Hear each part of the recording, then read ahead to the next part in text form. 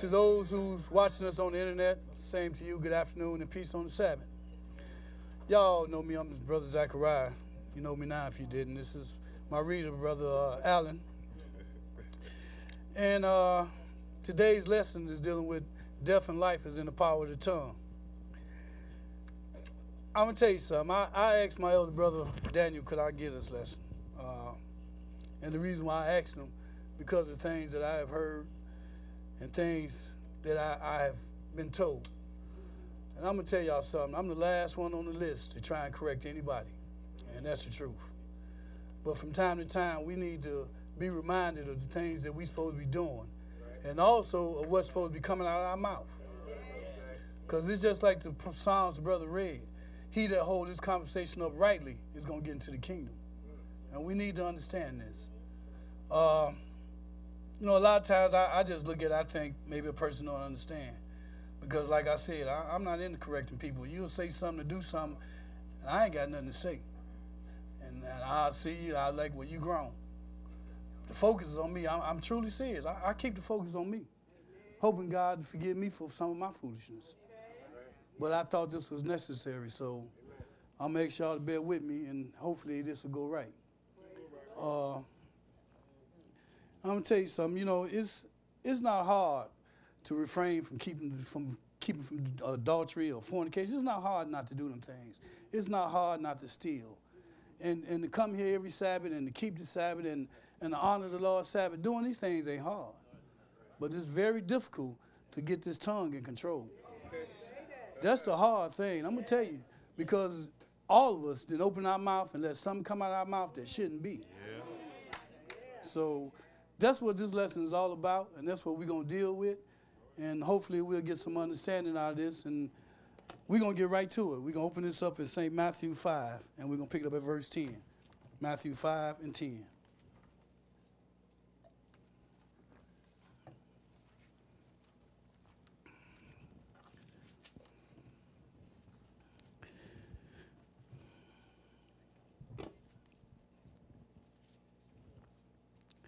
Now here in Matthew, they, they come to Jesus telling him about, I mean, I'm sorry, 15. My, my mistakes. I'm starting off wrong. Play Matthew 15 and verse 10.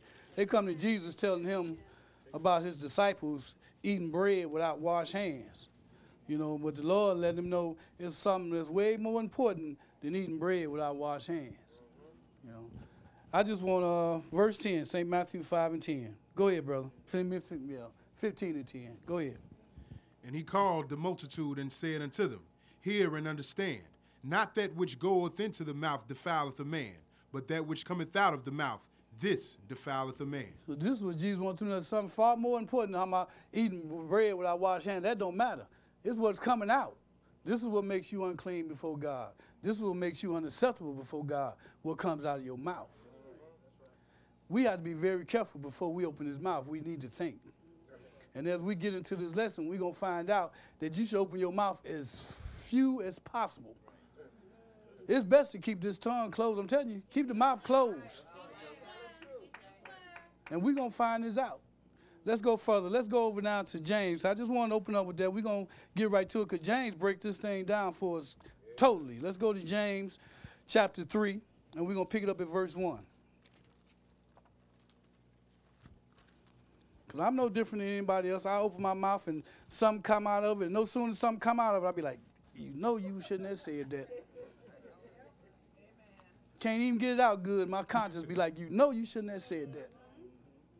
So we have to work on it. we want to get into kingdom, we have to work on it. And you got to know your shortcomings and you have to work on it. You know, you can't ignore it. You have to know what your shortcomings are and you got to work on them shortcomings. Uh, James 3, we're going to pick this up at verse 1 because, like I said, James break this down for us totally. Go ahead, brother. My brethren, be not many masters, knowing that we shall receive the greater condemnation. Mm -hmm. For in many things we offend all. If any man offend not in word, the same is a perfect man, and able also to bridle the whole body. You see what James said? If you don't offend in word, you're a perfect man. And you able to bridle the whole body. You you got you got now you got self-control. Controlling his mouth is very important. You can control that, you can control anything. And you will get into God's kingdom. Keep going. 3. Behold, we put bits in the horse's mouth, that they may obey us, and we turn about their whole body.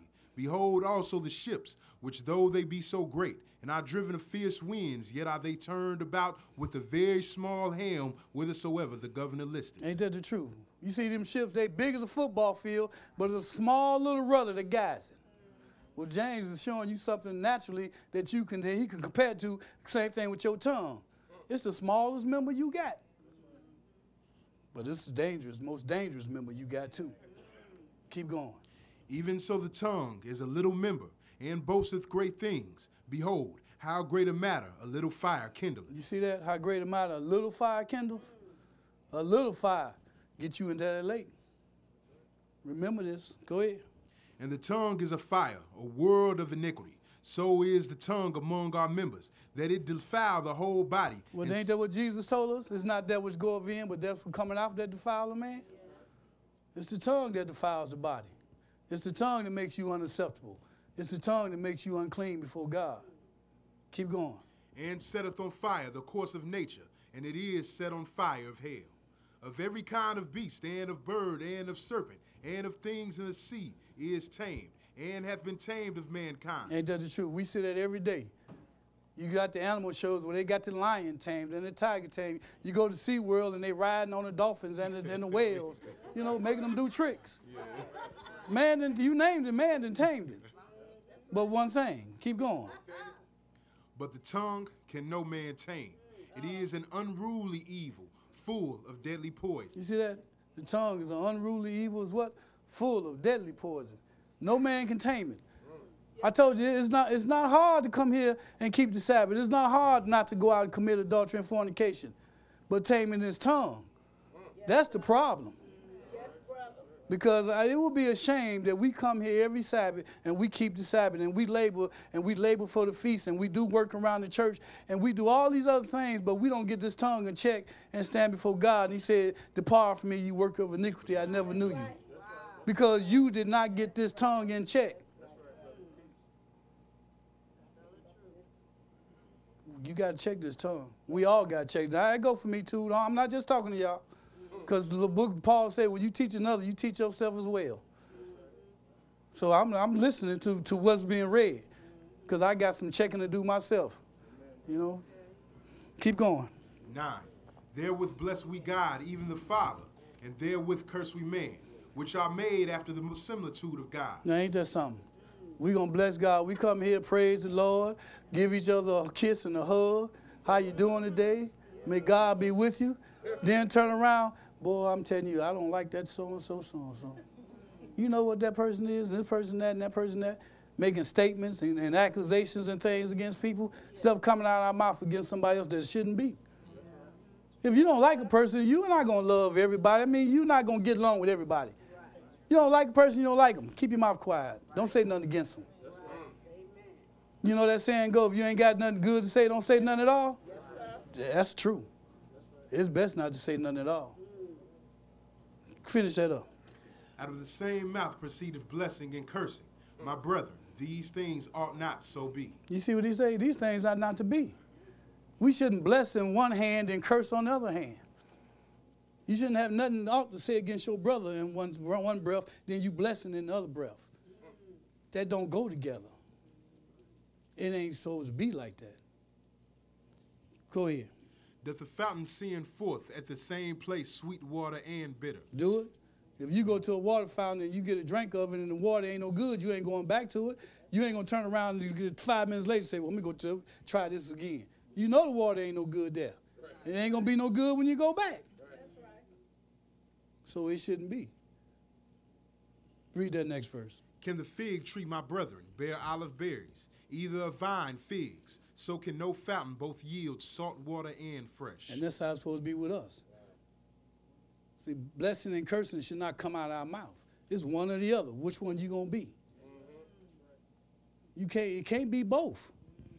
It has to be one or the other. I want y'all. I want to take a look at something. Turn over to Jude. Sh- Show you something here that we should. We coming back to James. We ain't through with James, but I want to turn over to Jude real quick. Jude was that little book right before Revelations. And I want you to read verse 8. Jude in verse 8, 8 and 9. Give everybody a second to get there.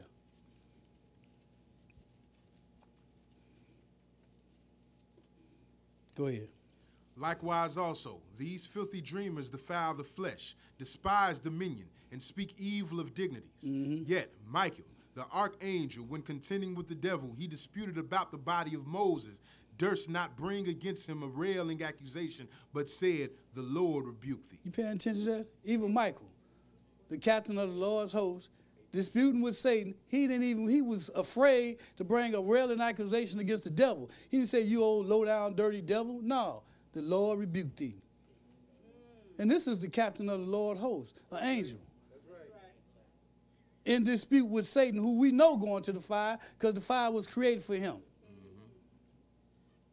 We ought to be the same we ought to be afraid to bring make certain statements and to bring accusations or to say something against somebody else. Don't do it, even if it's even if it's right. Don't do it. Don't do it. Let's go further. Let's go back to James. I'm gonna pick it up at James one.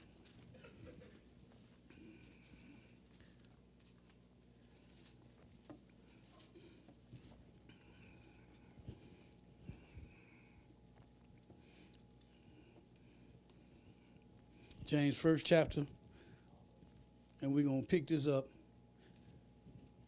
at verse 19. James 1 and 19. When you get there, go ahead, brother.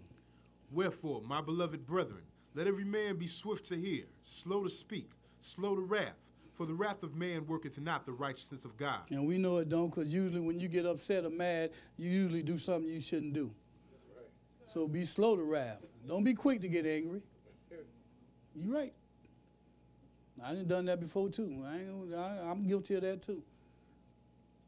Because it's not part of my general conversation, but we're going to deal with that too. But then you be slow to wrath. Don't be quick to get angry.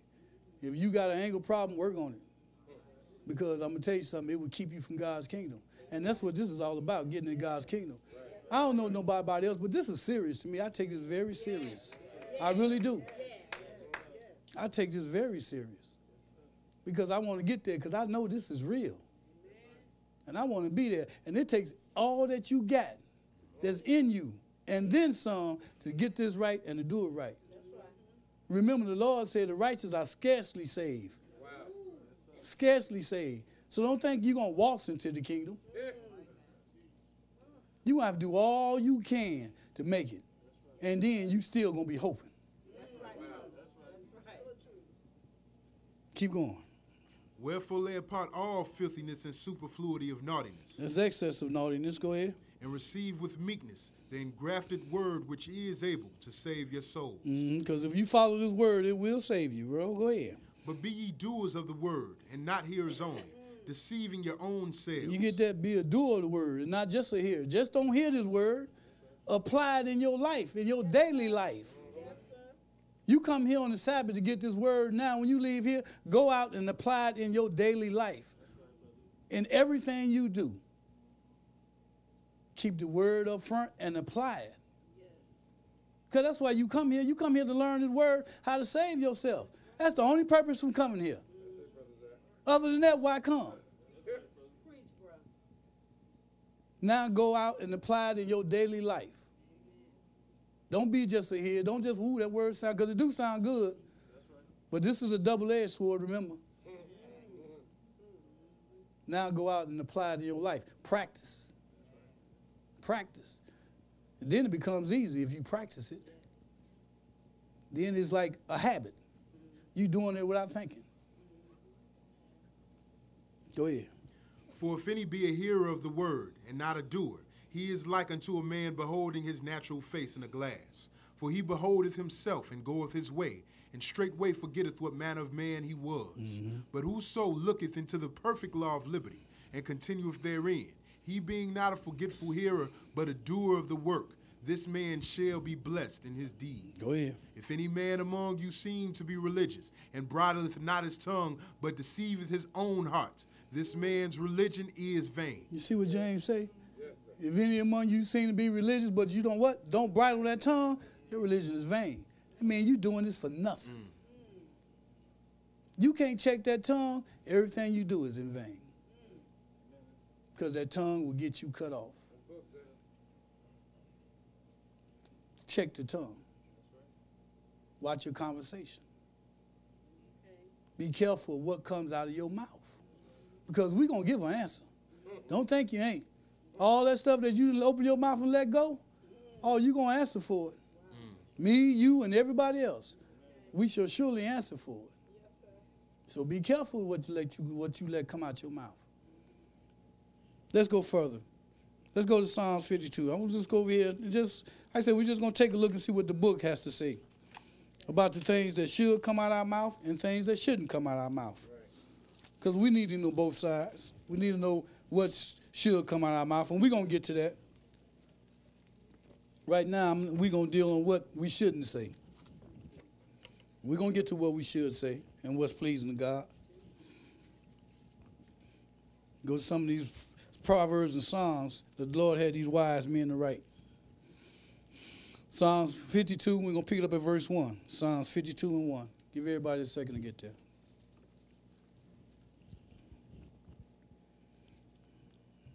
All right, go ahead, Brother Allen. Why boastest thou thyself in mischief, O mighty man? When the, good, the goodness of God endureth continually, mm-hmm. thy tongue deviseth mischief, like a sharp razor working deceitfully. You said the tongue devises what? Mischief. mischief. Like a sharp razor working deceitfully. I, I, I got some definitions here because we need to understand, we know what things are, but I just want to read a couple of things to you so we can be clear on a lot of things. Sometimes we read something, we need to understand what words means. Read mischief, just read it. Mischief, a cause or source of harm, evil, or annoyance, an injury or evil caused by a person, harm or trouble. Uh, you can yes, do what? Yes, Cause sir. harm with your tongue. Oh, yes, you can. Mischief. The tongue working mischief. It's causing harm. It's causing trouble, annoyance. Keep going. Go ahead. Mm-hmm.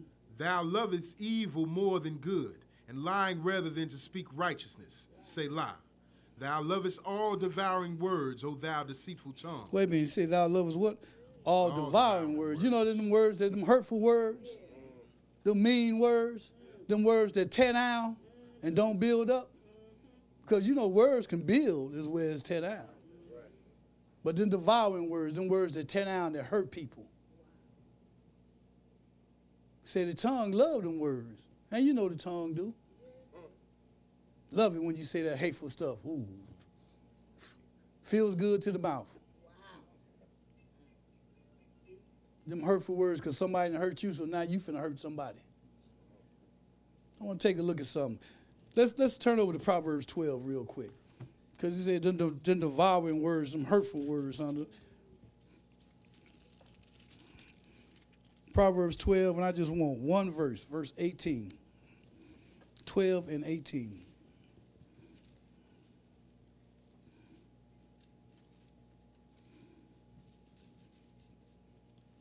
Read it, brother. There is that speaketh like the piercing of a sword, but the tongue of the wise is health. You see that? There is that speaketh like the piercing of a sword. You know the devouring words that you use? I see it all the time. People use devouring words. You got a man and a woman. He don't abuse his woman physically, but he abuse her verbally. Everything come out of his mouth is negative to her. It tears down her self-esteem. And it gets to a point where she believes this foolishness that comes out of his mouth. And she thinks she deserves it. So she no longer fixes herself up to look good. She no longer, uh, uh, when he touches her, she no longer responds to his touch anymore. So now he going to get him somebody else. But he done broke this woman down with his words. He destroyed her emotionally. I didn't seen women do it to men. Everything come out of her mouth is negative towards her man. Nothing encouraging, nothing to build him up. Slowly, she chipping away at his manhood until the bottle was his best friend. Now she finna go out and get her a real man because he weak. But you done broke this man down with your words. Them devouring words we just read about. This is emotional pain here. You might well take a sword and probably be more merciful if you took a sword and just stabbed him through. The Lord ain't pleased with that. And people think they're going to walk into the kingdom behind that. It ain't happening. I see people out here do it with their children. Every time they open their mouth, they hollering and screaming at their children, cursing them out like ain't no tomorrow. Then you got the child, the child either reverts inside and becomes timid, and you look at him, what's wrong with him? He all timid. Or the child do the other thing and act out and becomes bad and be, disobedient. Now you're looking at the child, ooh, that's a bad child. Ain't nothing I can do with him. It ain't the child, it's you. The Lord told you don't provoke your children. But you didn't destroy this child emotionally. Child children don't know how, how to deal with emotional pain. But with your words, you done done all this with your words. You ain't laid a hand on nobody. You didn't open your mouth and let these devouring words come out. You didn't let this poison come forth out of your mouth. Now you think you're to walk into God's kingdom. It ain't happening. Let's go further. Let's go down to uh, back to Psalms. Let's go to Psalms 12.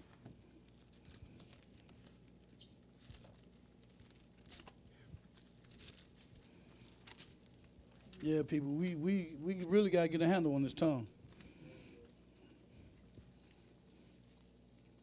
I'm not a good talker. I don't like talking. I don't talk much. I, I don't. You ask the brothers who go on the road with me. Most of the trip, I'm, I'm quiet. A lot of times I go to sleep. I never been a good talker.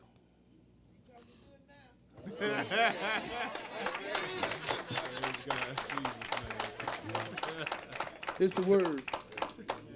And thank the Lord of that. But like I said, you know, we're gonna read, and like I said, you know, the more understanding I get, the more I realize to keep my mouth quiet. You know, that because you know some people are uncomfortable with that awkward quietness. It don't bother me. Yeah. It, it don't. It don't bother me. You can sit with me for an hour and I won't say nothing.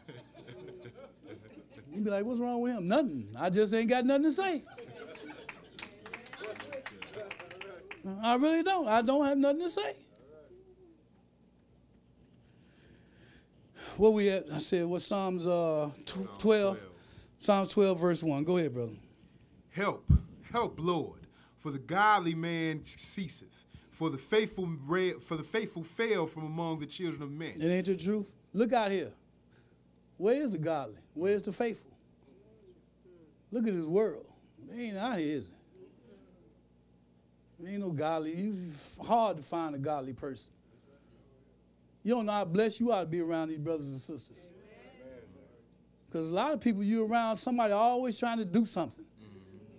You ain't comfortable. You got to watch yourself. You can't trust nobody because everybody got their own agendas. You can be around these brothers and sisters, you can be comfortable, relaxed. You don't have to worry about nobody trying to do nothing to you, use you, or abuse you. That's good. That is really good. Because out here in the world, it ain't like that. And you know how it is. It's like sometimes amongst your own family, you got places amongst your own family that you can't trust that mm-hmm. every time you see them, you know they're up to no good. So, yeah, it's good. you don't realize you're blessed being around these brothers and sisters that's trying to do what's right. Keep going. They speak vanity, every one with his neighbor. With flattering lips and with a double heart, they do do they speak. Watch the flattering lips. Watch the person that come to you with the flattering lips. They got an agenda, and God do not like the flattering lips because that has a, a, a agenda. It's something they want out of you, something they want from you. They want to use you or take advantage of you in some kind of way. That's why they come to you with flattery. Build you up, catch you off guard, make you feel good. Watch them flattering lips. And don't you have a flattering lip. Go ahead. The Lord shall cut off all flattering lips and the tongue that speaketh proud things. And the tongue, because the Lord do not like pride. Pride before a fall and a haughty spirit before destruction. What you got to be proud of? We ain't nothing but dirt. We ain't done nothing. Whatever the accomplishments you get made in life, hey, thank God that He allows you to do it. That's right. And you're going to return to the dirt, so you ain't got nothing to be proud of. You finished that? Yes, sir. All right, let's go a little bit further then. Let's go. uh Starting forward. No, this that's good. Finish read first. Well, go ahead, read first. You uh, finished four, didn't you? No. Go read it then. Who have said, With our tongue we will prevail, our lips are our own. Who is Lord over us? You see that? Our lips are on. I heard a lot of people tell you, you can't tell me what to say. No, I can't. But your mouth don't belong to you. The Lord belongs to God, and He gonna show you. Cause a lot of people open their mouth and say things, think they just free to say whatever they want to say. No, you ain't. You are not free to say what you want to say. You are not allowed to open your mouth and let anything and everything come out of it. I know we think we are, but you're gonna answer for it. Be careful. Like they say, they say our lips are our own. Who is Lord over us? People tell you that all the time. I can say what I want to say. You can't tell me what to say. No, I can't, but the Lord can. And he gonna deal with you for opening your mouth and saying what you said. Let's go further. Let's go to uh, Proverbs 10. Like I said, we're just gonna browse through and just hit a few scriptures here and there and just see what the book say.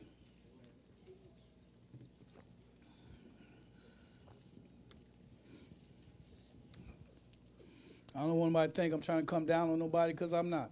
I just want us all to learn and get it together. That's what I want. I need to get this together just like everybody else. We need to get ourselves together. Sometimes we don't realize that we're doing something that's not correct. So when we find out, then hey, let us correct ourselves. Proverbs 10. We're going to pick this up at verse 11. Go ahead, brother. The mouth of a righteous man is a well of life, but violence covereth the mouth of the wicked. He said the mouth of the righteous man is a what? A well, Well of life. And that's what you're supposed to be about. Us as being trying to be children of light, our mouth's supposed to be a well of life. When you open your mouth, wisdom and knowledge supposed to come out of it. Now I know that's not the case all the time, because we are men. But still, that's what we're supposed to be striving for. We're supposed to be striving to get to the point that when we open our mouth, wisdom and knowledge come out of it. It's supposed to be a well of life. That means the word is supposed to come out of it, because the word is life. This is what we're supposed to be striving for. This is what we're supposed to be trying to obtain. Keep going. Hatred stirreth up stripes, but love covereth all sins. And remember that love covereth all sins, and it truly do. Book told us that God so loved the world that He gave His only begotten Son.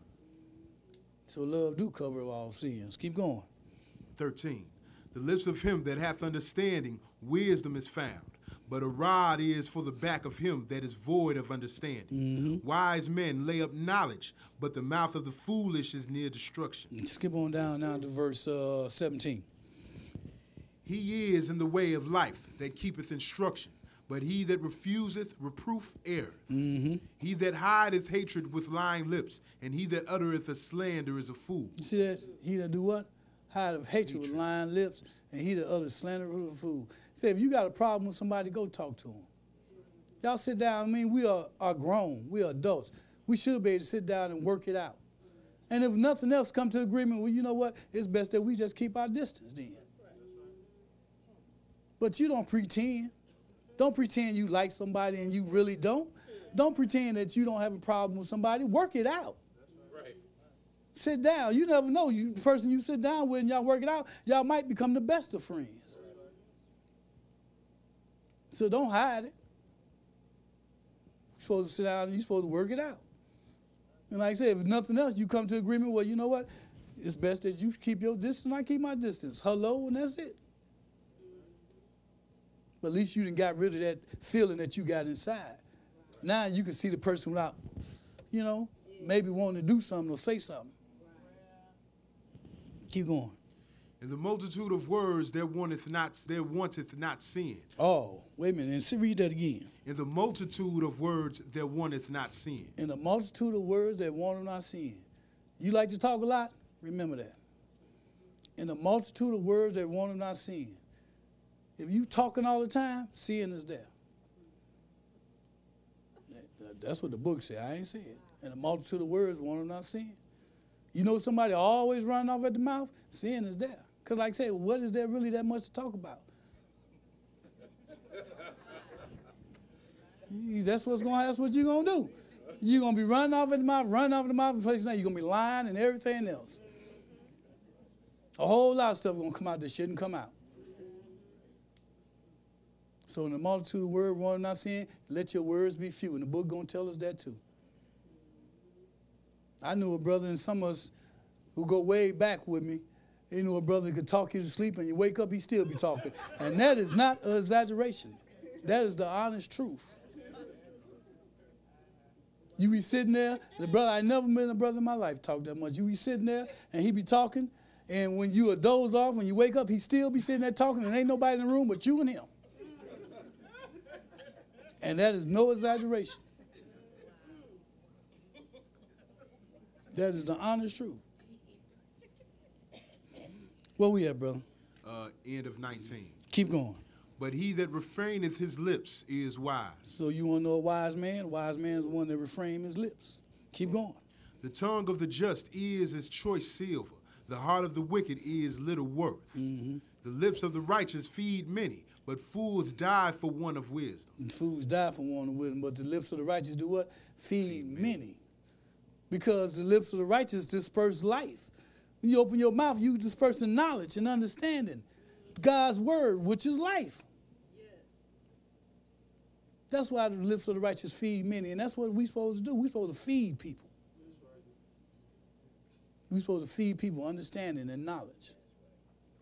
That's our job. That's what we're supposed to do. Skip on down, brother, to verse 31. The mouth of the oh, Just it, verse 31. Go ahead.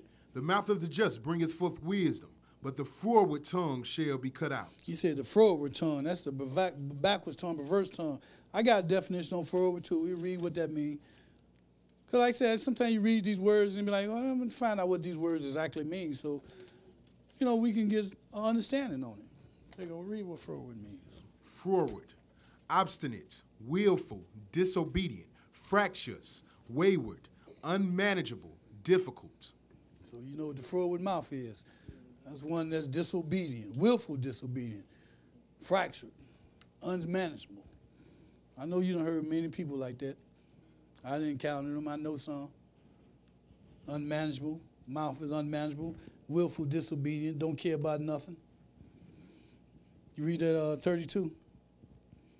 The, the lips of the righteous know what is acceptable, but the mouth of the wicked speaketh forwardness. Let's go further now. Let's go uh, to Psalms 34.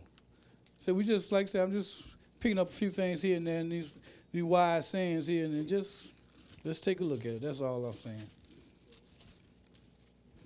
Psalms 34, and we're going to pick it up at verse 11.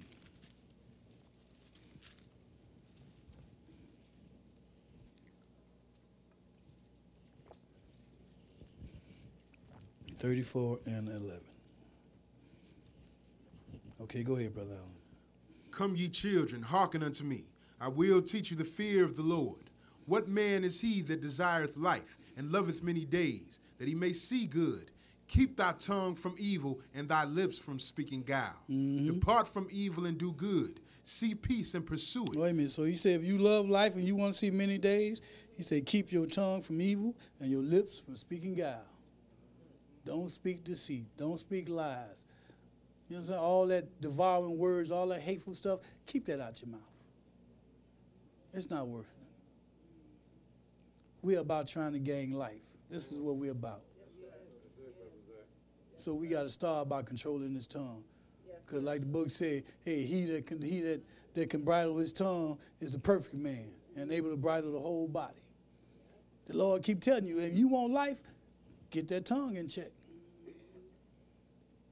Get it in check. Because if you can get that tongue in check, you can you have self-control, you can control anything. You can keep yourself from doing other things that ain't right. And you will see the kingdom. Where we at, brother? Starting 15. Go ahead. The eyes of the Lord are upon the righteous, and his, and his ears are open unto their cry. That's good. Let's go now to uh, Leviticus 19.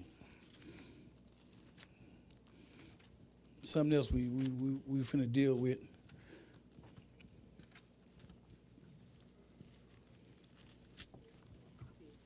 That we need to need to get ourselves in check with. Leviticus 19, we're to pick this up at 16. I just want that one verse 19 and 16.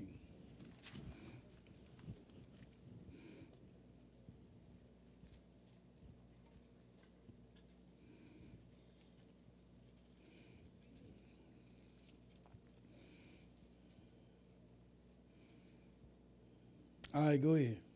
Thou shalt not go up and down as a talebearer among thy people, mm-hmm. neither shalt thou stand against the blood of thy neighbor. I am the Lord. Thou shalt not go up and down as a talebearer. You know what a talebearer is? That's, that's gossip. We have to stay away from that. We should not go down. Read, read, read, read talebearer, so we get an understanding amongst that. Talebearer, just read it. A person who spreads gossip, secrets, etc., that may cause trouble or harm. One who spreads malicious stories or gossip. Now you notice it says a person that spread gossip or secrets. Let me tell you something. You don't have to not only spread something malicious or a lie, but you can be telling the truth and be a talebearer. Everything you saying about this person is right, but you spreading gossip. You talebearing. What good are you doing? For what?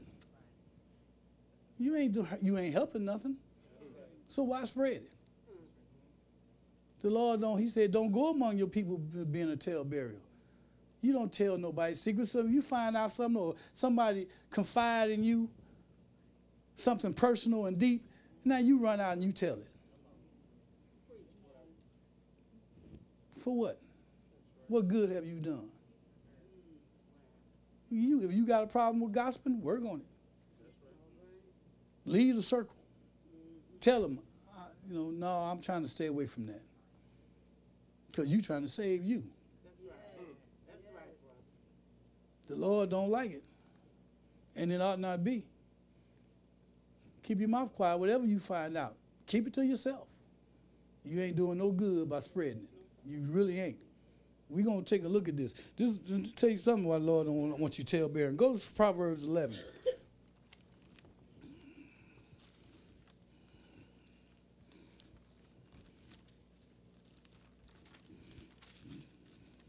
Because that, see, that's not, not to be amongst us.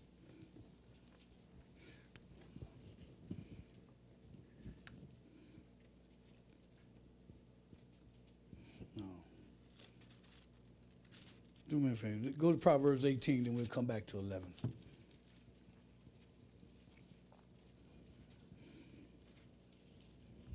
Go back to 18, then we'll come back to 11. Proverbs 18 and verse 8. 18 and 8. Go ahead, brother. The words of a talebearer are as wounds, and they go down into the innermost parts of the belly. You see that? That's why Lord don't want you talebearing, because you hurt whoever you gossiping about. It's like wounds and they go down to the belly. You hurting people. You hurting the one that you gossiping about. And you bringing other people into this foolishness. That's why I don't want you talebearing. Because like I said, like I said, what good are you doing? You're not helping the situation. Whatever you find out, be it true or whatever, just keep it to yourself. Person find out you done went and told something or said this about them, you done hurt that person. Now they come to you, they hurt. Because of what you said. Then they find out you just spread it everywhere. How would you feel? Consider yourself. How would you feel? We all been victims of it before. And you know it have hurted you. Refrain from that. I want to take a look at something. We're going to skip Proverbs 18. I want to go to Numbers 12 because I want to read something here because the Lord always got examples. And I'm going to say this even if a person err and you find out a person erred, you still keep it to yourself. Shut your mouth. You don't go around and, and tell everybody. You don't go around and gossip about it. Because I'm going to tell you something else. Sometimes things is not always what they appear to be. And sometimes you don't know the whole story. Because it's been a many times I thought I knew the whole story and found out I was way off base. Now you done spread to something and you find out, oops, It wasn't nothing what I thought it was. Don't do it. We're going to go to Numbers 12 and we're going to pick this up at verse 1 because the Lord always give us examples about different things. Numbers 12 and 1. Go ahead, brother. And Miriam Aaron spake against Moses because of the Ethiopian woman whom he had married. For he had married an Ethiopian woman. Now Moses crossed the line. He married the Ethiopian, and the Lord told Israel, we ain't supposed to marry outside Israel. Right. So Moses stepped over the line. But Mary and, and, and Aaron did something they wasn't supposed to do either. Go ahead. And they said, Hath the Lord indeed spoken only by Moses? Hath he not spoken also by us? And the Lord heard it. And the Lord heard their words. Now they talking against Moses. They gossiping. They tell bearing. They spreading it. Instead of keeping their mouth quiet and say, well, Moses done stepped out of line. Well, that's between Moses and the Lord. But now they stepped out the line because they went and talking about it. Now they talking about Moses. Mm-hmm. You know what Moses did? Yeah. yeah, I know what Moses did. Well, who Moses think he is? The point I'm trying to get you to see, they should have kept it quiet. Just should have shut their mouths. Because I'm going to tell you something, the Lord know how to deal with anybody that step out of line. That's right. Okay. He know how to do it. Yes, sir. You look up, hey, person they had problems at home, ain't no peace in the house. What they was doing fine on the job, now they got problems on the job. The Lord know how to deal with those who step out across the line. Yes, sir. Read that some more, brother. Starting three. Now the man Moses was very meek above all the men which were upon the face of the earth. And the Lord spake suddenly unto Moses and unto Aaron and unto Miriam, Come out ye three unto the tabernacle of the congregation. And they three came out. And the Lord came down in the pillar of the cloud and stood in the door of the tabernacle and called Aaron and Miriam, and they both came forth. And he said, Hear now my words. If there be a prophet among you, I, the Lord, will make myself known unto him in a vision, and will speak unto him in a dream. My servant Moses is not so, who is faithful in all mm. mine house. With him will I speak mouth to mouth even apparently, and mm. not in dark speeches, and the similitude of the Lord shall he behold. Wherefore, then were ye not afraid to speak against my servant Moses? The Lord said, You wasn't even afraid to speak against my servant Moses. Like we read in Jude, Michael the archangel was afraid to bring an accusation against the devil. He just said, The Lord rebuked thee. These are examples for us. We look at the prince of the Lord's host, the captain of the Lord's host. He won't even bring an accusation against Satan the devil. Marion and, and, and, and Aaron here, now they speaking out against Moses. The Lord say, okay, I'm going to deal with y'all for that. The point is, don't spread it around. Keep your mouth quiet. Let God, God know how to deal with everybody. Yes, yes. Don't get yourself in trouble. Okay. Just that simple. Like I told you earlier, I, am sitting and I say, hey, I'm not about trying to correct nobody because I keep the focus on me, and I do. I see you do something, that's you. I ain't gonna come to you, brother and sister, white, no. Because I'm all about focus on me. The book says, seek out your own salvation with fear and trembling. And believe me, I'm, that's what I'm about. I take that serious. I'm not about trying to chase up behind nobody, trying to correct them and tell them what they should be doing or shouldn't be doing. Because I'm hoping God will forgive me of my shortcomings, and I got too much. Too much. Let's go over to Galatians 6. If you are going to say something or you got something to say or you want to deal with it, do it this way. This way you stay within the boundaries of the Lord's law.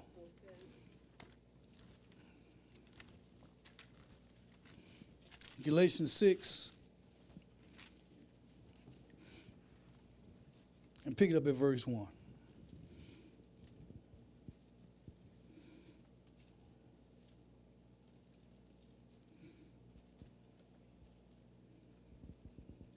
Go ahead, brother. Brethren, if a man be overtaken in faults, which ye are spiritual, restore such an one in the spirit of meekness, considering thyself, lest thou also be tempted. So that's how you're supposed to do it. If a brother or someone be overtaken in a fault, then you're supposed to go to him in the spirit of meekness with the word and restore such a one. If you ain't going to do it that way, keep your mouth quiet and keep on about your business. And that's the way it is. lest you also be tempted. We all flesh, and we all could fall. So if you ain't gonna do it according to the way the Lord say do it, keep your mouth quiet. Don't spread it around. Don't gossip about it. Leave it alone. That's good enough. Let's go to Proverbs 26. One more thing on, on, on, on the talebearer, and then we're going to go further.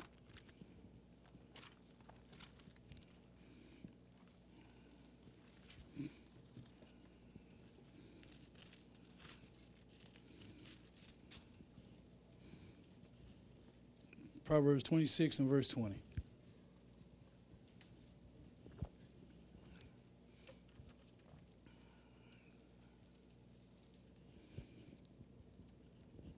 Twenty-six and twenty.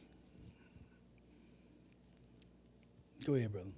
Where no wood is, there the fire goeth out. So where there is no talebearer, the strife ceases. See that? You know how they say don't add uh, don't add wood to the fire. The book tell you where there's no wood is, the fire goeth out. So where there's no, no talebearer, the strife ceases. Because you see all the problem the talebearer and the gossiping cause: strife, contention, hurt, pain, Vision of brother. All that. And the Lord tell us, He said we supposed to love one another, and love worketh no ill. So why you gonna bring that pain and hurt to somebody? When you can just keep your mouth quiet. It ain't gonna hurt you. I know it's hard to do sometimes. I ain't no different than nobody else. I like to hear a good rumor. I like to hear it. I ain't no different nobody. I ain't gonna sit up and pretend like I'm different. I like to hear the good rumors and stories too. But I'm trying to get into the kingdom. So I'm gonna ask you, please take to somebody else. Because I'm not with it. Like I told you, I don't like talking a lot anyway. And I'm to myself, and I thank God He do let me be kind of a drifter alone to myself because it keeps me out of a lot of mess. It really do. I see all my brothers and sisters in here, but I hang with hardly nobody. Well, hardly anybody. Me and that brother live down the street from each other, and he'll tell you he hardly ever see me. the only time we see each other is basically here at class, and we ain't nothing but a block apart. I go home and I chill out in my house by myself peacefully. and that is the truth. You finished that? Uh, yes, sir. At 21. Go ahead. As coals are to burning coals, and wood to fire, so is a contentious man to kindle strife. Read that 22nd verse. The words of a talebearer are as wounds, and they go down into the innermost parts of the belly. That's good. Now we're gonna deal with something else. Let's go to Numbers 30. We're finna deal with with vows and commitments and promises.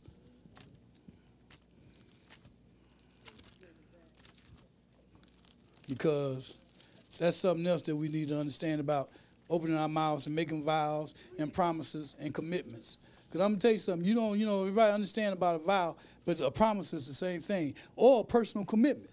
You make a personal commitment, God looking for you to keep it. He really is. So don't make no personal commitments or no promises, and you ain't got no intentions on keeping them. Before we get started, I want you to read vow. Vow, a solemn promise, pledge, or personal commitment. A mm-hmm. solemn promise made to a deity or saint commending itself to an act or service or condition. To dedicate or devote by a vow to vow oneself to the service of God. Mm-hmm. Vow one service to the service of God. When we got baptized, we done that. Yes, you did. When we did in that water, you vowed yourself to the service of God. Now we're gonna deal with other things. Don't open your mouth and make commitments. How about I'm gonna do this and I'm gonna do that? Because when you do, the Lord looking for you to do it, and He don't take it lightly. A lot of times it's best just to say, "Well, I'll see. I don't know. I'm gonna try." But be careful. But if you open your mouth and say, "I am," I'm gonna do, you best do. So let's take a look at that. Now we're going to take a look at making a vow. Numbers 30, and we're going to pick this up at verse 1. Numbers 30 and 1. Go ahead, Brother Israel. And Moses spake unto the heads of the tribes concerning the children of Israel, saying, This is the thing which the Lord hath commanded. If a man vow a vow unto the Lord, or swear an oath to bind his soul with the bond, and he shall not break his word. He shall do according to all that proceedeth out of his mouth. He shall do according to all that proceedeth out of his mouth. So if you open your mouth, all that come out of it, you have to do. So be careful. Don't go to how I'm gonna do, or I'm gonna promise, or making vows to God, Lord, if you do this, I'm gonna do that. Because the Lord is expecting you to do it. And he don't take it lightly, and we're gonna see this. Let's go to uh, Psalms 50. Because sometimes we understand that a vow is just an oath. You know, well, you know, the Lord said don't take no oaths. No, the Lord did say don't take no oaths. But we find out that a vow is also a, a personal commitment you can make. Telling somebody, well, I'm going to do this, brother, or I'm going to do this, and then you don't do it.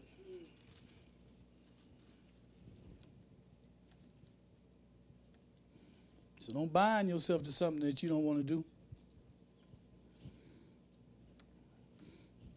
I tell you, a lot of times I learned a lot of times, I just like to say, well, I see. Because I know me, I change my mind in a heartbeat. Yeah. I would. Yeah.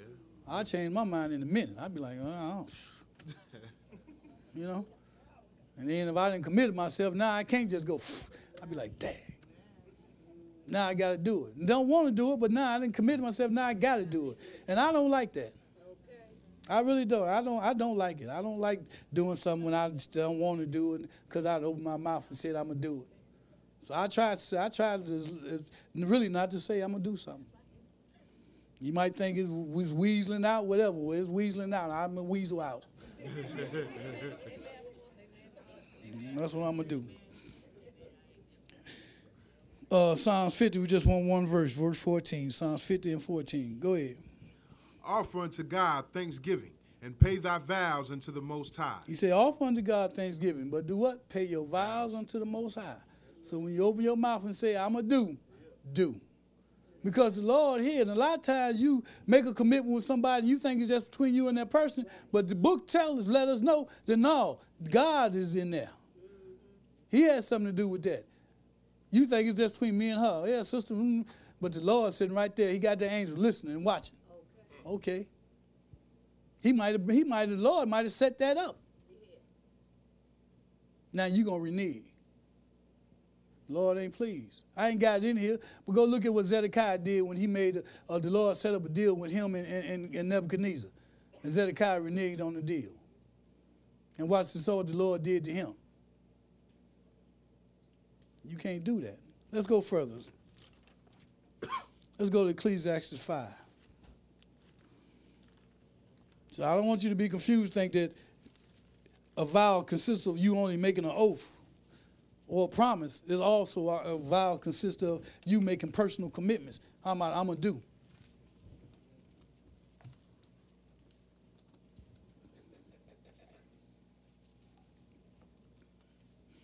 Ecclesiastes, fifth chapter, and we're going to pick this up at verse 1. Ecclesiastes 5 and 1. All right, go ahead. Keep thy foot when thou goest to the house of God, and be more ready to hear than to give the sacrifice of fools. Mm-hmm. For they consider not that they do evil. Mm-hmm. Be not rash with thy mouth, and let not thine heart be hasty to utter anything before God. For God is in heaven, and thou upon earth. Therefore let thy words be few. You understand what he's telling you here? Don't be rash with your mouth to utter anything before the Lord. The Lord hear you. He got them angels, and they hear you. So don't be rash in making commitments. I'm, to do this or I'm going to do that or, or making promises. Don't be rash. Let your words be few. And if you commit to something, see it through. Go ahead. Three. For a dream cometh through the multitude of business, and a fool's voice is known by multitude of words. When thou vowest a vow unto God, defer not to pay it, for he hath no pleasure in fools. You see that? book told you don't be rash with your mouth, let your words be few. A fool's voice is known by what? By a multitude of words. And when you vow vow to God, don't be afraid to pay it because he have no pleasures in fools. Because if I'm telling you something, if you make a commitment or a vow or oath and you don't see it through, you are a fool. Because the Lord is watching and he is not going to let you get away. Believe that. You are not going to escape that one. Mm-hmm. It's all about your words. It's all about your words. People got to be able to depend on your words. Your words means a lot. Just like we depend on the Lord's words, the Lord is all about what you say. About your words. A man is judged by his words. Can't nobody believe you, then what good are you? You say something and they can't believe what you telling them, then what good are you? You finished that up? Um, it's end of it, ending it. Pay that which thou hast vowed. Better is it that thou shouldest not vow than that thou shouldest vow and not pay. So it's better for you just not to even vow. Don't say I'm gonna do something. Don't commit. It's best that you don't than to commit and don't do it. Keep going. Suffer not thy mouth to cause thy flesh to sin. Mm-hmm. Neither say thou before the angel that it was an error. Oh, don't be behind my will. I made a mistake. Too late. You didn't let it come out your mouth. I don't want to hear that I made a mistake. You better do it. Go ahead. Wherefore should God be angry at thy voice and destroy the work of thine hands? Mm-hmm. For in the multitude of dreams and many words there are also diverse vanities, but fear thou God. But fear God. Remember that. Let's go even further. Let's go to Matthew 5. See what Jesus had to say about the matter.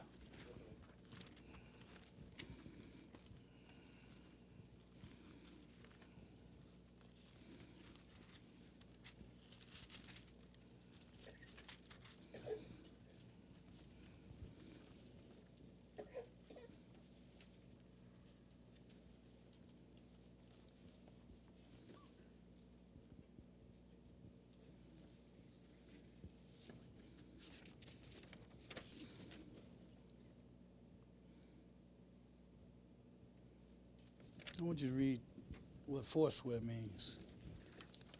Forswear, to renounce, or, repu- uh, repudiate under oath, to disavow under oath, deny, to swear falsely, commit perjury. So we got to understand what forswear means. Now we're going to pick this up at verse 33, Matthew 5 and 33. Go ahead. Again, ye have heard that it hath been said by them of old time, Thou shalt not forswear thyself. In other words, if you made a vow, don't go back on it. Like say perjury, you just swore to something, but now you're going to deny it or lie or go back on it. He said, don't forswear yourself. Go ahead. but shalt perform unto the Lord thine oaths. But I say unto you, swear not at all, neither by heaven, for it is God's throne. So Jesus letting you know, don't swear at all. Don't get yourself in trouble. I'm going to tell you what you do. Don't do it at all. Go ahead. nor by the earth, for it is his footstool, neither by Jerusalem, nor for neither by Jerusalem, for it is the city of the great king. Mm-hmm. Neither shalt thou swear by thy head, because thou canst not make one hair white or black. That's good right there. As far as I want to go right there. So don't do it. Something you want to do, then do it. But be careful about making personal commitments and making promises. How about, well, I promise this or I promise that. Don't do that. Or taking vows and oaths. The Lord said, don't do it at all. It's best that you don't do it at all. That way you don't get caught up. Because once it come out your mouth, you bound. And you got to do it. And the Lord is not going to give you a pass. So don't do that. Now let's go take a look at something. Like I said, Lord always give you examples. We're going to take a look at two examples and we're going to move on to something else. Let's go to uh, Judges 11. Because that's what these are in here for. The Lord said these things are examples so we can know what to do and what not to do. So we're going to take a look at a couple of examples.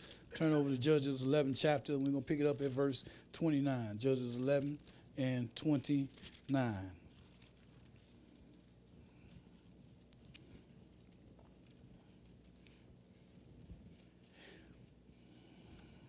Give everybody a second to get there, then you can start.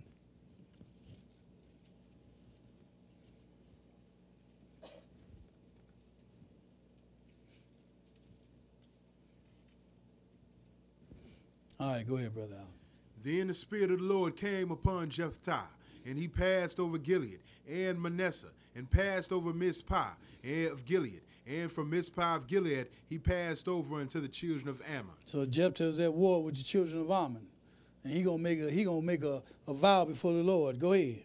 And Jephthah vowed a vow unto the Lord and said, If thou shalt without fail deliver the children of Ammon into mine hands, then it shall be that whatsoever cometh forth of the doors of my house to meet me when I return in place in peace from the children of Ammon shall surely be the Lord's, and I will offer it up for a burnt offering. Mm-hmm. Go ahead. And Jephthah passed over unto the children of Ammon to fight against them. And the Lord delivered them into his hands. And he smote them from Aroer even till he came to Minnith, even twenty cities, unto the plain of the vineyards with very great slaughter. Thus the children of Ammon were subdued before the children of Israel. So the Lord delivered the Ammonites unto him a very great slaughter. He slaughtered in 20 cities he destroyed. Go ahead. And Jephthah came to Mizpah unto his house, and behold, his daughter came out to meet him with timbrels and with dances, and she was his only child. Beside her, he had neither son nor daughter. And look at him come out. He done made this vow, and look what comes to greet him. You know this man was broke down. Go ahead, keep reading.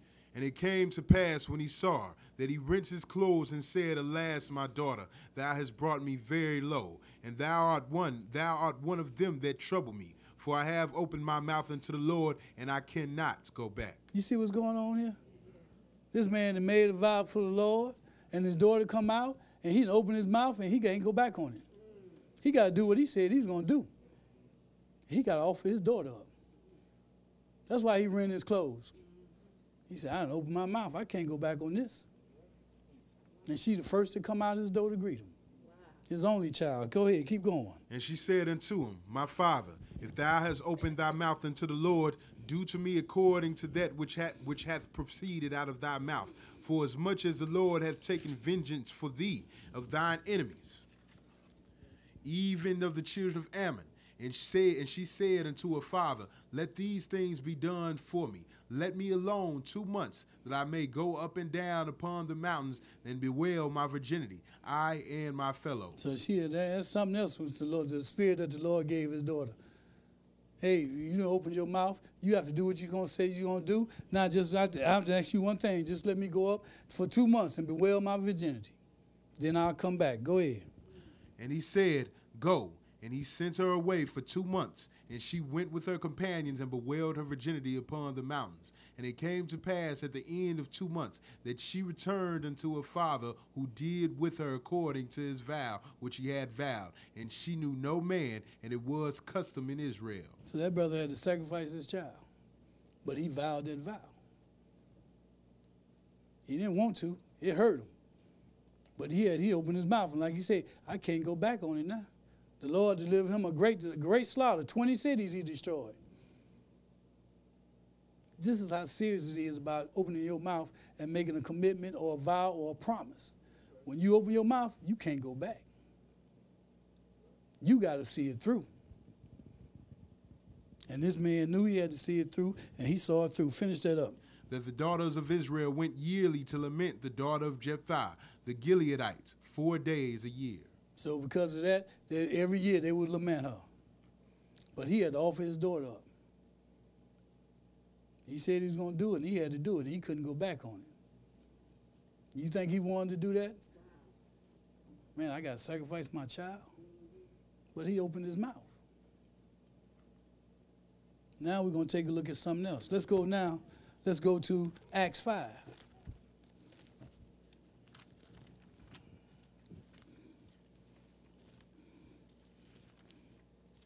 See, we need to understand all these things so we won't be so hasty when we come to open up our mouth. Because the Lord said, I am God and I change not.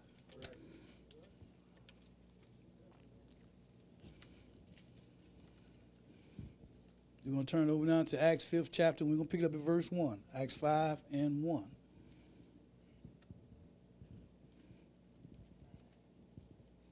All right, go ahead, Brother Allen.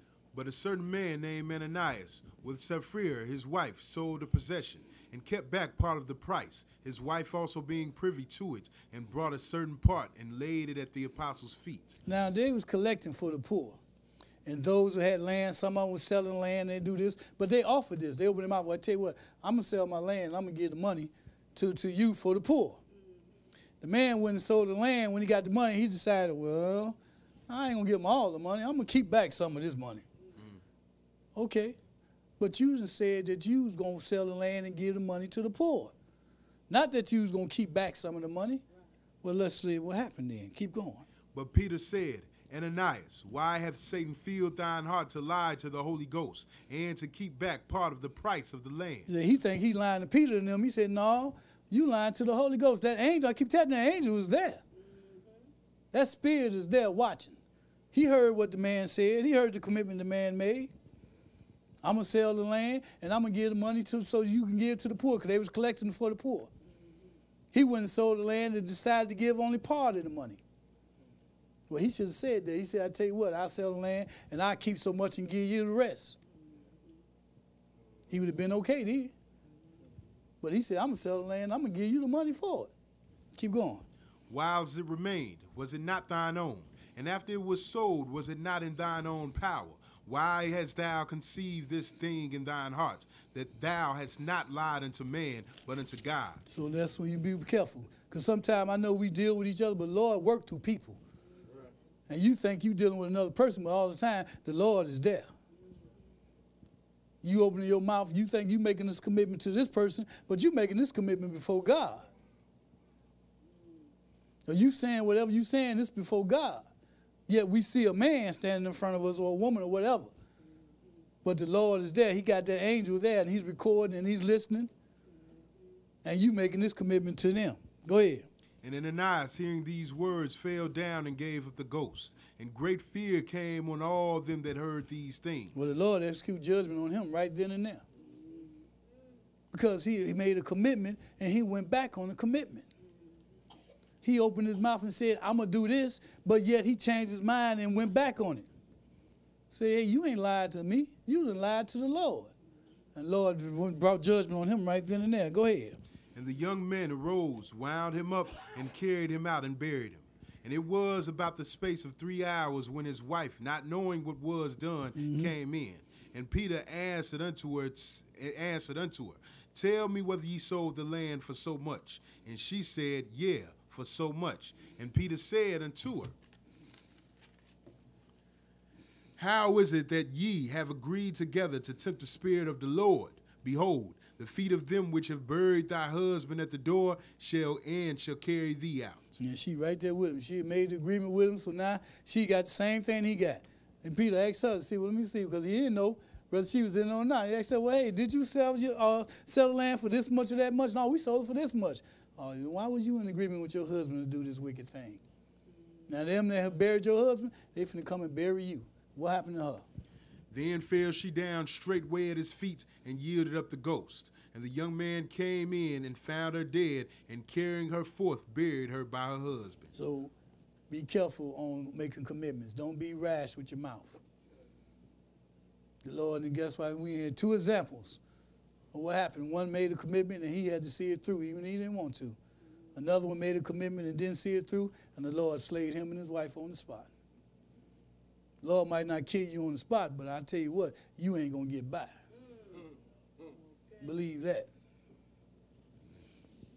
Let's go further. Let's go to Proverbs 17. We'll be out of here on time. Yeah, the Sabbath is long, ain't it? Proverbs 17. Let's take a look at some of these wise sayings.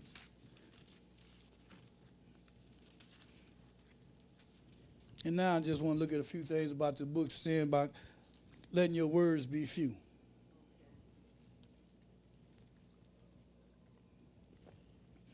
Proverbs 17, and we're going to pick this up at verse 27. 17 and 27.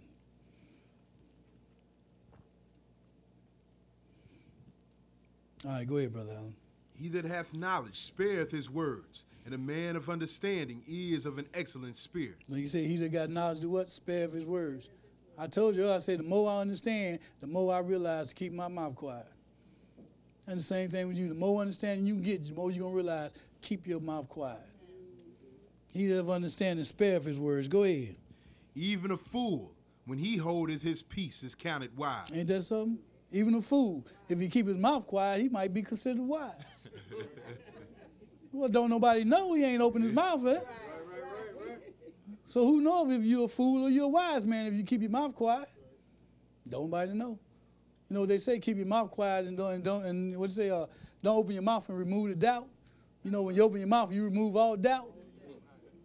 Well, don't do that then. Keep your mouth quiet. Even and even if you are a fool, people think you wise. Boy, that's a wise person there. You ain't said nothing. that's why you wise, because you ain't said nothing. Go ahead, finish that. And he that shutteth his lips he is esteemed a man of understanding. Yeah, he that shutteth his lips is esteemed a man of understanding. Let's look at something else. Let's go even further. Let's go uh, turn over to Proverbs 21. Say we just hit a few scriptures here and there about keeping your words few and, and, and holding your tongue. Proverbs 21, I just want one verse 21 and 23. 21 and 23. All right, go ahead. Whoso keepeth his mouth and his tongue keepeth his soul from trouble. Oh, you want to keep your soul from trouble? Keep your mouth and tongue. It remind me when I was little, my mama used to always say, don't let your mouth get you in something that your behind can't get you out of. You know what I'm saying? You want, you want, you want to stay out of trouble? Keep your tongue. Because that mouth gets you in a world of trouble. It always gets you in trouble. You think about your life and when you're going through. Every time you got into trouble, it was always the mouth. It was always the mouth. Tongue always got you in trouble. Well, the Lord said, hey, he that keepeth his tongue, keepeth his soul from trouble. Let's look further. Let's go to Job 6. So we're just going to hit here and there, see what some of these wise men had to say. Job 6, and I just want one verse out there, verse 24. 6 and 24.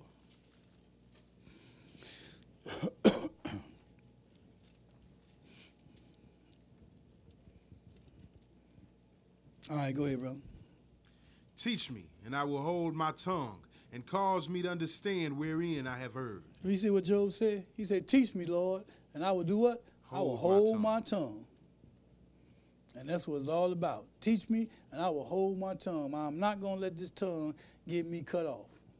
I'm going to hold it. I'm going to check it. I'm going to bridle this tongue. Let's go even further. Let's go to Proverbs 29. Back to Proverbs. I just want one verse out of there, too 29 and 20.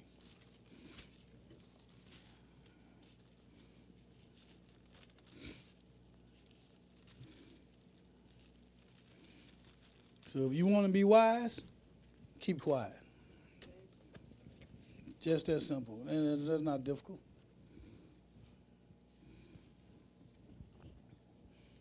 Twenty-nine and twenty. Go ahead. Seest thou a man that is hasty in his words? There is more hope of a fool than him, than with him. Hmm. You see that? A man that is hasty in words, rash with his words, always quick to open his mouth. The Lord said there's more hope of a fool than of him. Because he gonna always say something he got no business saying. We read earlier in the multitude of words, one of not sin. So there's more hope of a fool than the one that is always hasty with his words, quick to say something. Always got an opinion on everything. Hold your tongue. Show you show show true wisdom and be quiet. Let's go to Colossians 3. Now, you know, I want to take a look at nine, something else that I personally want to deal with, and and that's cursing. Because we ought not to be cursing. Plain and simple. Curse words should not come out of our mouth. It is not of God. And if you got a problem with curse words, then I suggest you work on it, substitute, doggone it, or whatever. Dag, or whatever you want to say. But don't say nothing. But that's something that should not come forth out of our mouth. I don't like it. When I hear it, it stings and burns my ears. And that's the truth. And when I hear it from brothers, it hurts.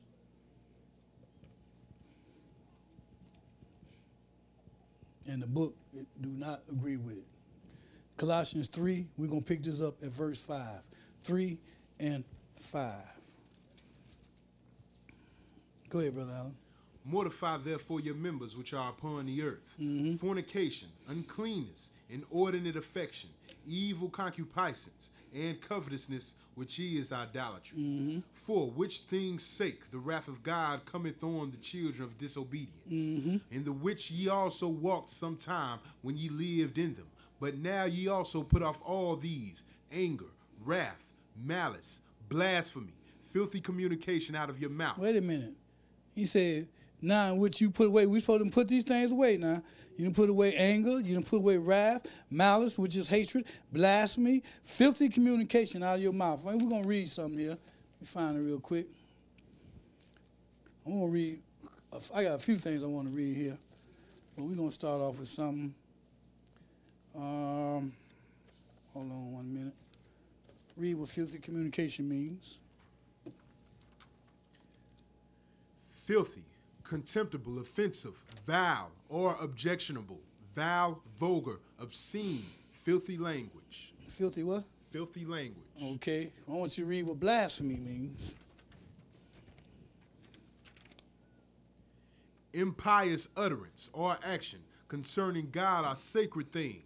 A crime of assuming to oneself the rights or qualities of God. Mm-hmm. Irre- irreverent, irreverent behavior toward anything held sacred. Mm-hmm. Profanity, cursing, Wait a minute, wait a minute, wait a minute. Blasphemy covers what? profanity, cursing, swearing, Oh. sacrilege, impiety. Blasphemy also covers cursing and profanity.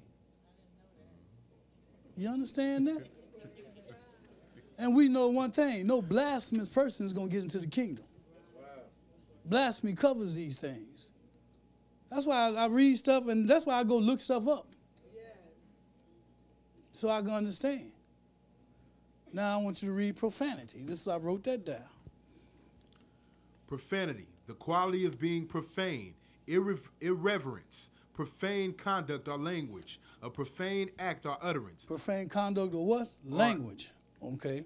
Go ahead. a profane act or utterance, obscenity, blasphemy, sacrilege, swearing, malediction, curse, cursing, a profane oath, curse word, to swear at, to mm. blaspheme, to swear profanely. Mm. Something else. Hold on. Something else I want to read here. Let me find it real quick.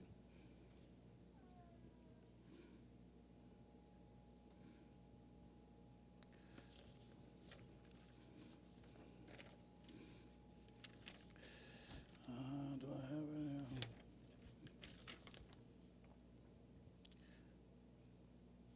here? Okay.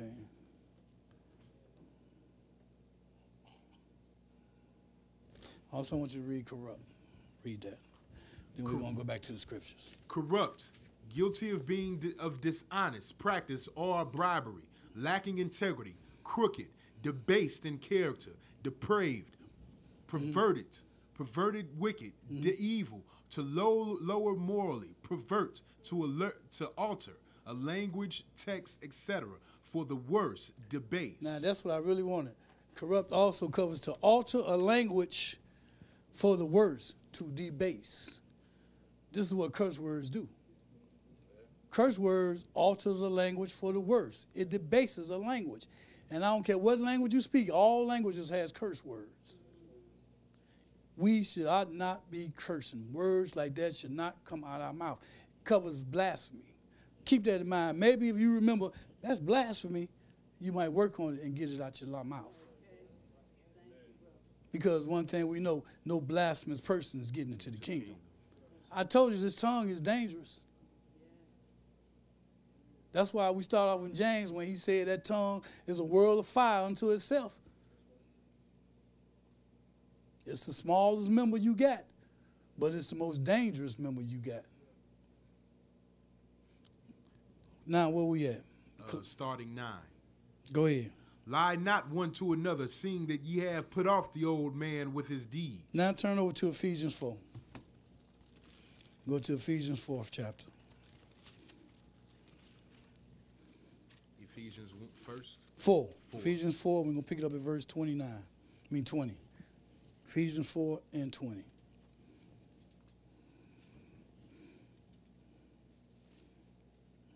Okay, go ahead, brother. But ye have not so learned Christ, if so be that ye have heard him and have been taught by him as the truth is in Jesus, mm-hmm. that ye put off concerning the former conversation the old man which is corrupt according to the deceitful lust. Now we read here, he said, You put off the convers- former conversation, the old man which is corrupt according to the deceitful lust. And I know you brothers gonna come to me and say, Well, see, Brother Zach, he talking about your lifestyle right there. And he is. But let me ask you this do not your conversation mirror your lifestyle? Do not the adulterer and fornicator, that ain't that's what his conversation consists of? Fornication and adultery? Do not the thief, ain't that's what his conversation consists of? Yes, sir. Even a violent man, even his conversation is violent. And we are children of light. Our conversation should be that of light. Your conversation mirrors your lifestyle. Go ahead. And be renewed in the spirit of your mind, and that ye put on the new man which after God is created in righteousness mm-hmm. and true holiness. Wherefore, putting away lying, speaking every man truth with his neighbor, for we are members one of another. Mm-hmm. Be ye angry and sin not. Let not the sun go down upon your wrath. That's because you start getting into vengeful things then. Go ahead. Neither give place to the devil. Let him that stole steal no more, but rather let him labor, working with his hands the thing which is good, that he may have to give to him that needeth. Mm-hmm. Let no corrupt communication proceed out of your mouth. Once again, that's why I read the definition of corrupt. Let no corrupt communication proceed out of your mouth. Corrupt. To alter a language, to debase, for the worse. That's cursing. Filthy communication. Don't let it come out your mouth. That's blasphemous. Go ahead. But that which is good to the use of edifying, that it may minister grace unto the hearers. Now, how is that ministering grace unto the hearers if you cussing? Let us reason one with another. If I'm cursing and then I turn around and try to preach to you, are you going to hear what I got to say? No, no. And don't tell me, say, well, brother, you know what? I'm careful about who I talk around or what I say. Well, you know what? If cursing is part of your general conversation, it's going to come out. I don't care who you're around. And don't think people don't watch you. You being watched. I'm telling you, you being watched. Don't think they don't watch you on the job or whatever. Wherever you at, don't think you ain't being watched. They sit back, yeah, that's so and so how about the Lord, but every time he opens his mouth, he cursed. You being watched. And not only that, you being being watched by God. But I'm telling you, people are watching you. You might not think they aren't, but they are. And you might not bring the word to them. You might say, you don't have to be on your job talking word, word, word, just your conversation. Certain conversations you can be partake in, certain conversations you can't. When I sit in, sitting in the lunchroom and they get in the lunchroom and they get to talking certain conversations, I shut up. Couldn't be a part of it. Especially Israel men, because all they like to do is talk fornication and whoredom. So I just shut my mouth. And I wasn't around there preaching to nobody. But I'm gonna tell you something. Brother came to me one time. He said, "Man, I know you different." He said, "You don't curse. You don't do this. You don't do that." But I ain't preaching nobody. But he knew I was different by my conversation, what he heard and didn't hear. That's how he knew I was different, and that's how people gonna know you different. It ain't about you gotta be around there, the Lord, the Lord, the Lord. They watching you. They listening to what's coming out your mouth. Even in general conversation, they are listening to what's coming out your mouth. Then when opportunity comes, you gonna speak the word. If you got a history of cursing and they've been hearing you curse, they don't want to hear you. Did we finish that? Um, starting 30. We That's no, that's 29. good. That's good. Something else I want to speak about. This is my personal pet peeve. And it really is. I'm gonna take a page from Paul and which actually I'll bear with me for one minute. But I'm speaking on this as one who's trying to do what's right from a godly sense. And I'm talking about this N word. I hate it. Can't stand it. And I feel we that's something else that shouldn't be coming out of our mouth. Read the definition on it. Nigger The term nigger is now probably the most offensive word in the in, in English. Its degree of offensiveness has increased markedly in recent years, although it has been used in a derogatory manner since at least the Revolutionary War. Definitions 1A, 1B, and 2 represents man, mean meanings that are deeply despairing and are used when the speaker deliberately wishes to cause great offense. Oh, so it's used when someone wishes to cause what? Great Great, offense. offense. Go ahead. Definition 1A. However, is sometimes used among African Americans in a neutral or familiar way. Definition 3 is not normally considered despairing, as in the Irish are niggers of Europe mm-hmm. from Roddy Doyle's The Commitments. So evidently it's saying now how you know why we use the word it's supposed to be an endearing word, but it's a negative, despairing word, and it can never be enduring. It can never be positive. Never. Go ahead.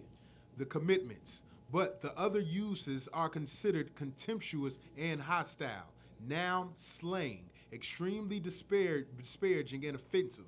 A black person, a member of any dark skinned people. Slang, extremely disparaging or offensive. A person of any race or origin regarded as contemptible, inferior, ignorant, etc.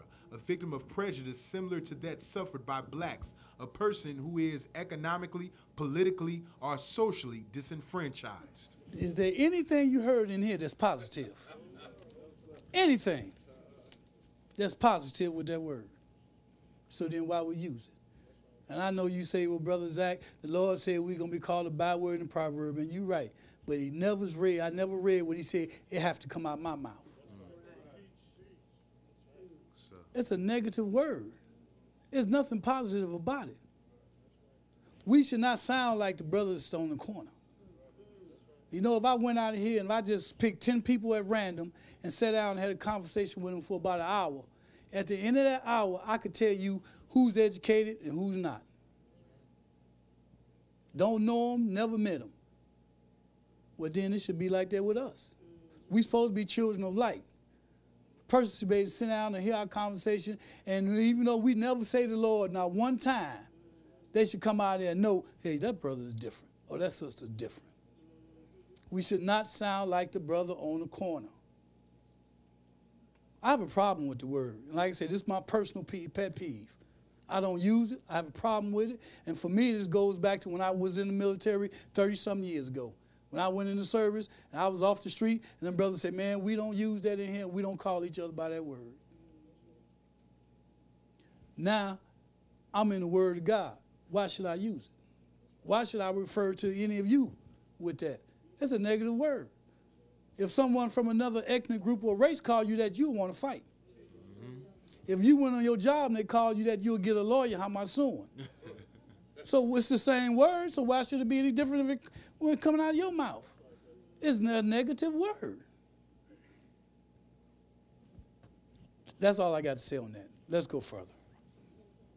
That's my own personal pet peeve. Now we're going to get back to the word. Let's go to St. Matthew 12.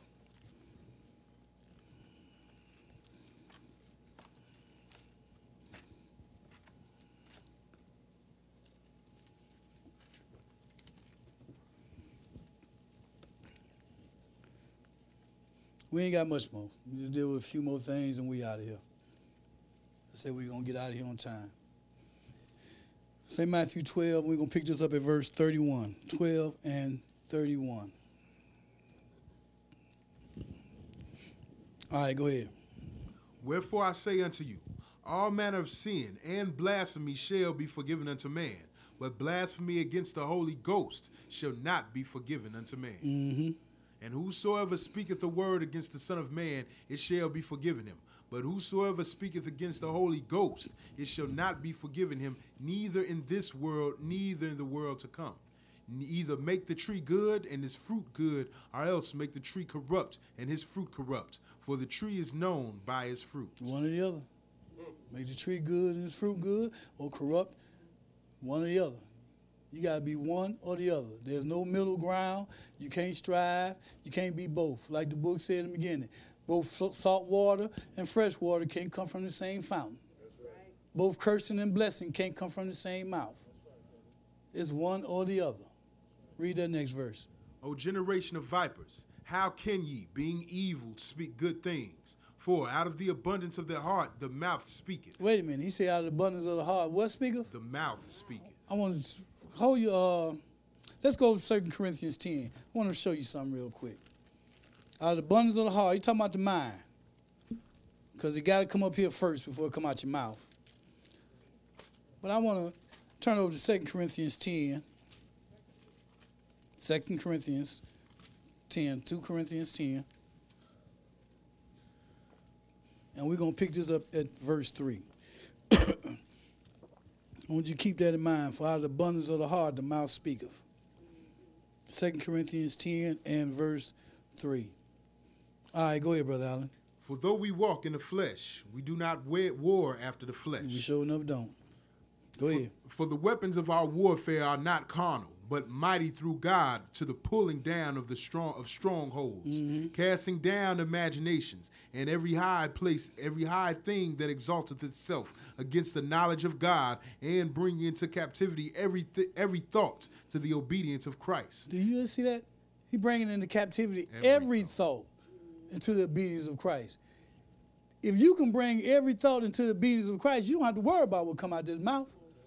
Because the book just say, out of the abundance of the heart, the mouth speaketh. This is your objective. This is what you're striving for. To bring into captivity every thought you got is some subjection to Jesus. If you can get there, then you won't have no concern about what come out this mouth. Because what come out the mouth to be in subjection to Jesus too. If the thoughts are. Every thought. That's some work there, ain't it? But that's what we this is give us something to strive for. I ain't nowhere near there. But boy, I'm trying to work and get there. Every thought. Because like the book say, our warfare is not, this is not a fleshly warfare that we, we got. This thing is spiritual. Your thoughts, they are spiritual. This warfare we're dealing with, because that's where the war is at here. That's why you. That's what you got to strive for to bring every thought. Because if you can get every thought in subjection to Christ, you gon' you all right. You gonna get there. Because out of the abundance of the heart, the mouth speaks. If it come here first, before you say it or before you do it, it's here. So if you can get every thought under subjection to Christ, then the things you say and do is gonna be under subjection to Christ. It's gonna be pleasing to the Lord. Let's go further. Let's go to Psalms 35. Now we're going to take a look at a few things that, that should come out of our mouth, some good words to speak and say.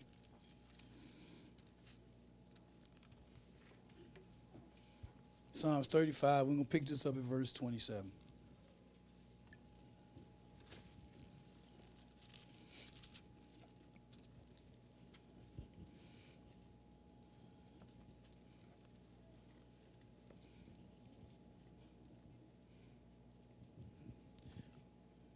Okay, go ahead, brother. Let them shout for joy and be glad that favor my righteousness. Cause, yeah, let them say continually, Let the Lord be magnified, which hath pleasure in the prosperity of his servant. Mm-hmm. And my tongue shall speak of thy righteousness and of thy praise all the day long. You see that? Let your tongue speak of his righteousness and his praise all the day long. This is what we're trying to get to. You know, and like I say, I'm like anybody, I don't speak to the Lord 24 7. But one thing I do try and do, whatever conversation I partake in, I try to make sure I don't cross the line. And like I say, in some conversations you just can't be a part of. Some things you just have to, you can't take part in. But whatever conversation, I like talking politics and other things. I like having fun and joking, which I gotta be careful with that because the book tell you about foolish gesturing. Because that can get off into hurting people. You hurt people making jokes and fun. You get off into that. Book teach you about that too. But whatever part of the conversation I be, I get into, be it sports or politics or whatever, I try to make sure I don't cross the line. And that's what we have to do. Let's go further. Let's look at some more. Let's go to uh, turn over to Psalms 37. It's right there and pick it up at verse 29. Go ahead, 37 to 29 just some of the things the book tells us that we should do or that we should be saying or that should come forth out of our mouth. 37 and 29. Go ahead, brother. The righteous shall inherit the land and dwell therein forever. The mouth of the righteous speak wisdom. Wait a minute, wait a minute, wait a minute. Oh, I'm sorry, go ahead. The mouth of the righteous speak mm -hmm. wisdom, mm-hmm. and his tongue talketh of judgments. The law of his God is in his heart; none of his steps shall slide. Okay, hold on right there. Your verse you at now. Uh, 31, just read, read 31, that's good. But he said, The mouth of the righteous speaketh wisdom, and his tongue talketh with judgment. The law of God's what? Is in his heart, and none of his steps shall slide. Because if you talking the Lord's law and judgment, then you're going to be all right. Your steps is not going to slide. You ain't going to fall. This is what's supposed to be in your heart. Remember, the- out of the multitude of heart, the mouth speaketh. So if God's law is here, then it's going to come out here. And judgment going to come out here. Let's look at let's look even further. Turn over to Psalms 119. We ain't got too much more. We'll be out here in a few minutes. Psalms 119 and pick it up at verse 169.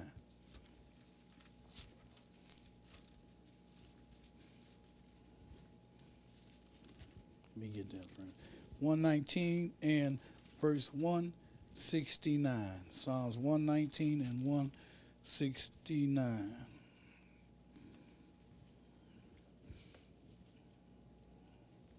Give everybody a second to get there. Okay, go ahead, brother. Let my cry come near before thee, O Lord. Give me understanding according to thy word. Mm-hmm. Let my supplication come before thee. Deliver me according to thy word.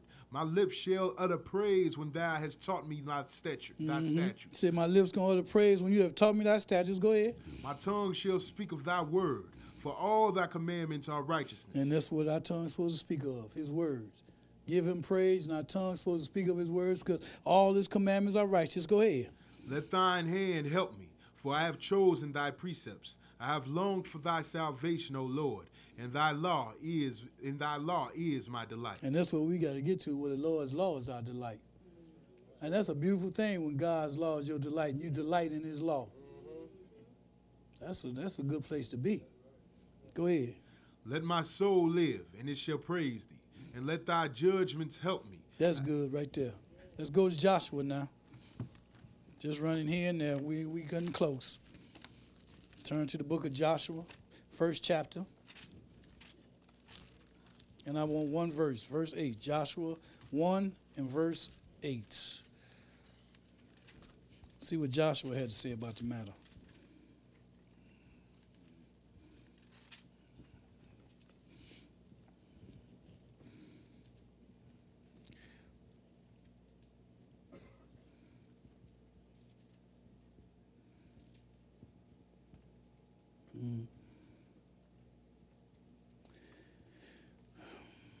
Wait a minute. No, that's wrong. Something was wrong.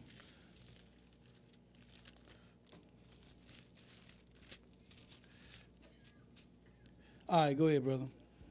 This book of the law shall not depart out of thy mouth, Wait a minute. See what Joshua said? He said, This book of the law shall what? Shall not, Not. depart out of thy mouth. Go ahead. but thou shalt meditate therein day and night, that thou mayest observe to do according to all that is written therein. For then thou shalt make thy ways prosperous, and then thou shalt have good success. So the book of the law shall not leave your mouth. He said, You shall meditate in it day and night. Let's strive to do that.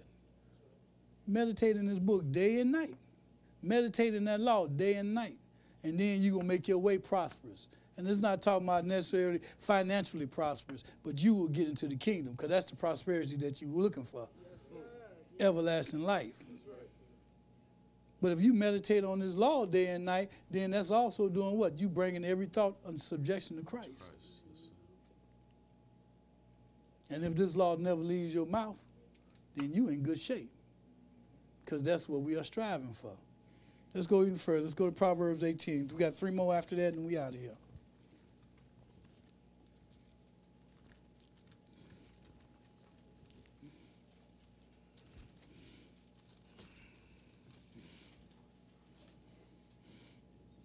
That's why the Lord tell you to do them things, to meditate on His law day and night, because He know how this journey is.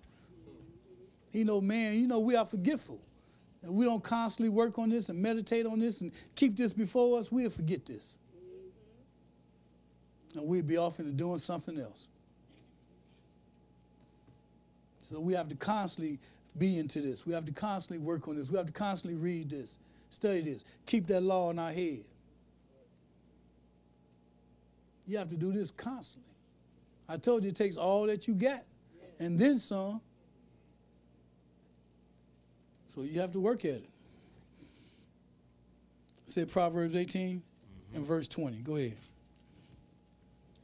A man's belly shall be satisfied with the fruit of his mouth, and with the increase of his lips shall he be fulfilled. Mm-hmm. Death and life are in the power of the tongue, and they that love it shall eat the fruit thereof. There you go. Death and life is in the power of the tongue. And they that love are gonna eat the fruit thereof. If you love life, your tongue is gonna get you that. If you love death, your tongue gonna get you that. The book says in the power of the tongue, whichever one you love, the tongue is gonna get you. Be it life or be it death. But the mouth is gonna get you that. One or the other. Let's go to St. Matthew 5. So you decide which one you love.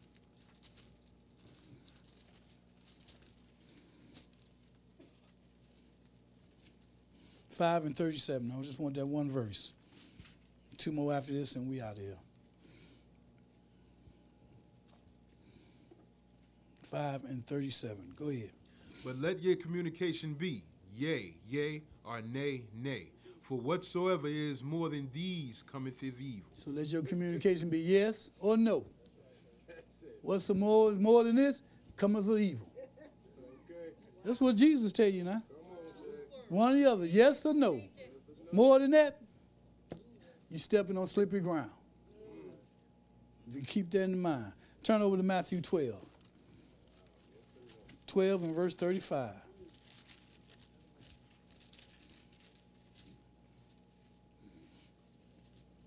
Twelve and verse thirty-five.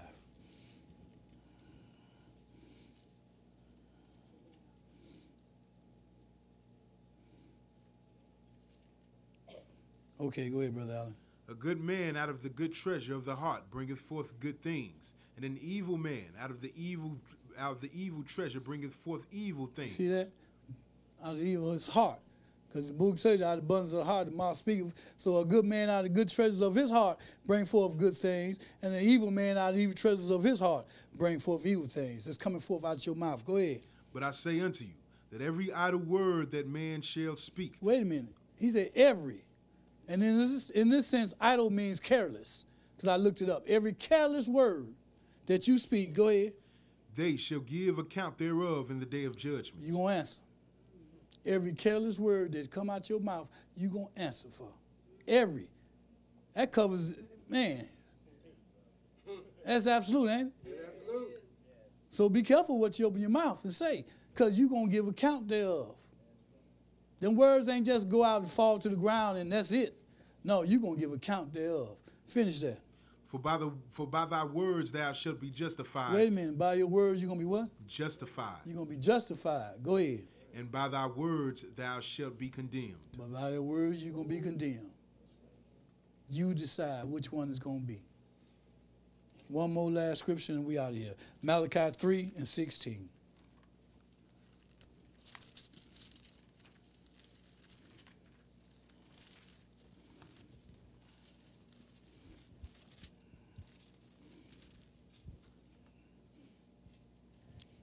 Malachi 3 and verse 16.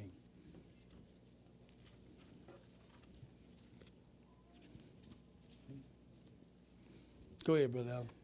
Then they that feared the Lord spake often one to another, and the Lord hearkened and heard it, and a book of remembrance was written before him You for notice them. that?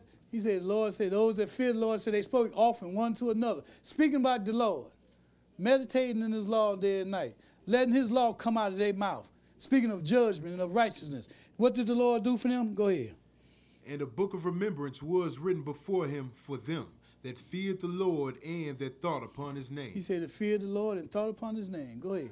And they shall be mine, saith the Lord of hosts, in that day when I make up my jewels. He said, I- these going to be mine. In the day when I make up my jewels, these are going to be mine. Go ahead. and I will spare them as a man spareth his own son that serveth him. That's good. So that's it. I hope we got some kind of understanding out of this. I'm glad y'all bear with me, and thank you for your time.